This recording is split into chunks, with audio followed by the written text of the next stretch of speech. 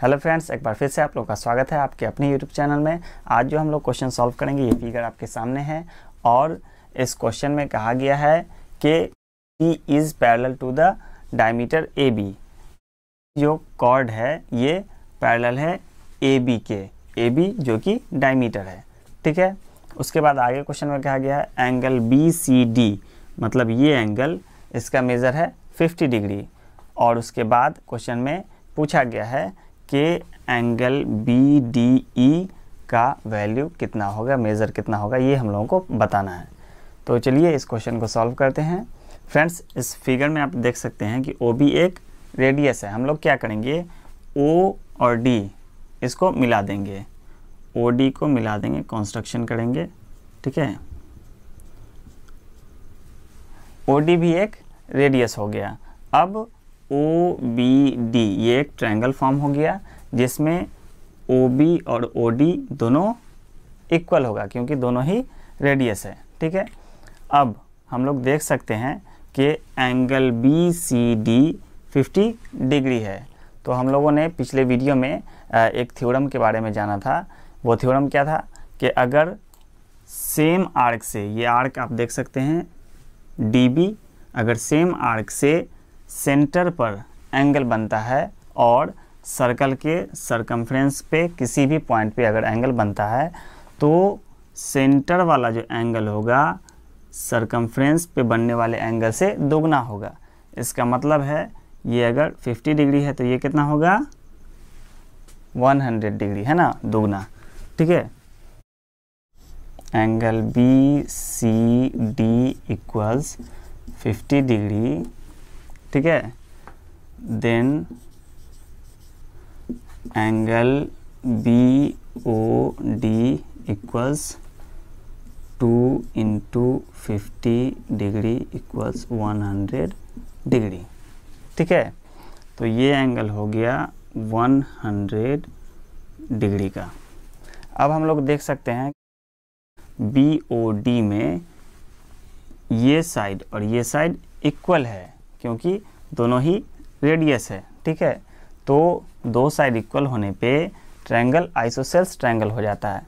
तो isosceles triangle में equal sides के सामने वाला एंगल मतलब ओ डी के सामने जो एंगल बन रहा है, ये बन रहा है ओ बी डी और ओ बी के सामने जो एंगल बन रहा है, वो बन रहा है ओ डी बी ये दोनों एंगल इक्वल होगा। इक्वल साइड्स इक्वल साइड्स के सामने वाला एंगल इक्वल होता है। तो ये दोनों एंगल भी इक्वल हो गया। तो हम लोग in triangle B O D देखते हैं कि angle B O D plus angle O B D plus angle O D B equals 180 degree क्योंकि ट्रायंगल के तीनों एंगल का सम 180 डिग्री होता है। तो एंगल बी ओ डी का वैल्यू कितना है? 100 degree 100 degree plus angle O B D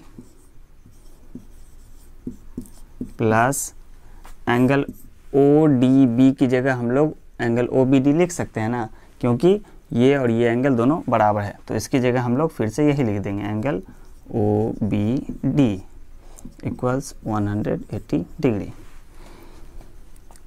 अब हम लोग देख सकते हैं कि दो बार हो गया एंगल ओ बी डी तो two angle O B D equals 180 degree और इसको हम लोग उस साइड ले जाएँगे तो माइनस वन डिग्री ठीक है तो ये हो जाएगा 80 डिग्री दो बार एंगल ओ बी डी मिलके होता है 80 डिग्री तो angle O B D equals 80 by two degree equals 40 degree ठीक है? तो इस एंगल का वैल्यू हो जाएगा 40 डिग्री इसी तरह इस एंगल का भी 40 डिग्री होगा क्योंकि ये दोनों एंगल बराबर है। तो आप लोग देख सकते हैं 100 और 40 40 180 डिग्री हो जा रहा है। अब जैसा कि हम लोग अब क्वेश्चन पे आते हैं। क्वेश्चन में कहा गया था कि डी ई और ए बी पैरल है। तो डी ई और ए बी जब पैरल होगा तो ये ट्रांसवर्सल हो जाएगा बी डी क्योंकि ये दोनों पैरल है। तो ये ट्रांसवर्सल हो गया। तो एंगल ओ बी डी और एंगल बी डी ई ये दोनों एंगल क्या हो जाएगा? ये एंगल और ये एंगल अल्टरनेट एंगल्स हो जाएगा। तो अल्टरनेट एंगल्स दोनों ये और ये पैरेलल है, ए बी और डी पैरेलल है तो अल्टरनेट एंगल्स इक्वल हो जाएगा मतलब ये भी एंगल हो जाएगा 40 डिग्री। इसलिए angle B D E equals angle O B D equals 40 degree, क्योंकि दोनों अल्टरनेट एंगल्स है। फ्रेंड्स आई होप कि इस वीडियो से आपने कुछ सीखा होगा। अगर ये वीडियो आपको अच्छा लगा तो वीडियो को लाइक कर दें। और अगर आपने अभी तक चैनल को सब्सक्राइब नहीं किया है तो चैनल को सब्सक्राइब करके बेल आइकन दबा दें, ताकि आपको इसी तरह के इंटरेस्टिंग वीडियोज़ का नोटिफिकेशन मिलता रहे। Thanks for watching